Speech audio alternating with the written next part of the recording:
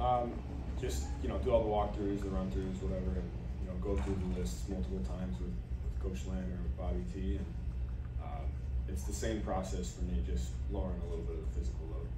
Christian, is there any chance in your mind that you won't play on Sunday? Zero. What see out of the Eagles defense, They're really good. You know, they they got a lot of really good players up front. The linebackers fly the ball well. Their secondary's talented, um, and you know they just they pose a lot of challenges in a lot of different areas. So uh, for us, it'll be about us and executing and making sure we take care of you know everything we need to take care of on each and every play and eliminate mistakes. Has your offensive line, I mean, a- as you've kind of adapted to them over the last couple of months, how, how much more comfortable are you running behind that now and, and with the scheme of it? I feel great running about. Yeah, I mean they're they're so talented and so detail oriented, and I think just understanding the purpose for every play is important. and Where we want to go with the ball and, and the coaching points on each play, so I feel comfortable. When you look at the Eagles defense, just as a runner, as a receiver out of the backfield, or just let it wide or whatever, what are the, the, the principal challenges they present to you? They have a good pass rush, um, and then their DBs play well in timing, and their backer, you know, all the things I said earlier. They they fly to the ball well. Um, you know, they have a good pass rush, so that helps a lot. You know, for us, it's just about executing the play call. Though Kyle knows all that stuff, and he knows exactly where he wants to go with the ball. It's just us, up to us to be able to go out there, do it full speed, and play beyond the X's and O's. What, what does that mean, play well in timing?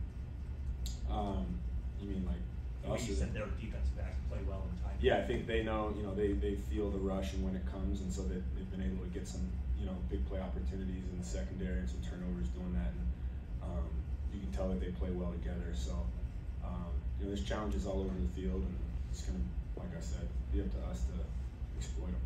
Christian, you guys have been so good on both sides of the ball this year in terms of turnovers and winning that uh, turnover battle.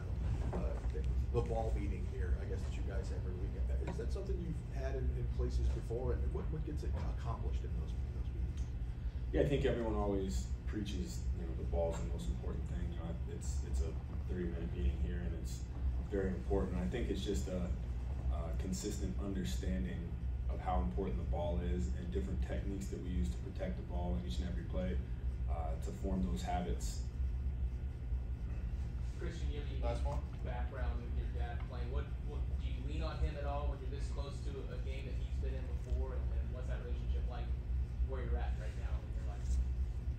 Yeah, I mean, I think you know he has so much wisdom. He's played in a lot of these big games, and you know the thing he would probably tell me is do the same thing you do every week. You know, I I treat every game like a big game. This whole team does. Uh, every day is uh, you know very intentionally sound on on perfecting your craft and getting better.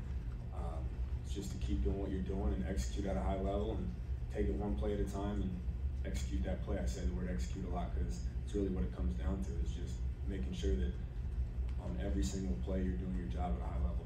Christian, what's the mental process like if, you know, you don't succeed early in the run game to be able to stick with it, wear them down, hopefully to affect the game late late in the game?